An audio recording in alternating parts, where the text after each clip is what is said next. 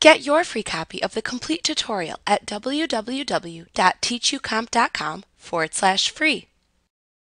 In this lesson, we will review entering bills for minor expenses incurred for each client that can then be entered as a single bill for the monthly totals.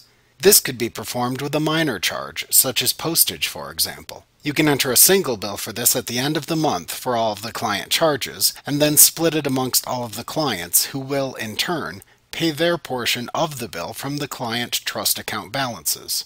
You record this bill in much the same way that you recorded the bill within the last lesson. When entering the line items within this bill on the Items tab, use the double-sided service items that you created for expenses provided and paid for by the firm and then reimbursed by the client from the previous chapter.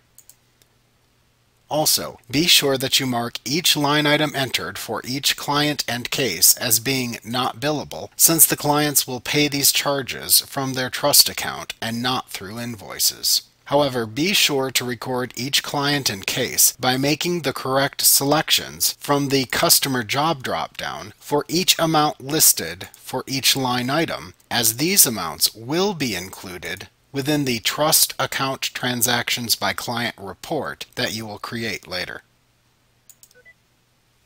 Like what you see? Pick up your free copy of the complete tutorial at www.teachucomp.com forward slash free.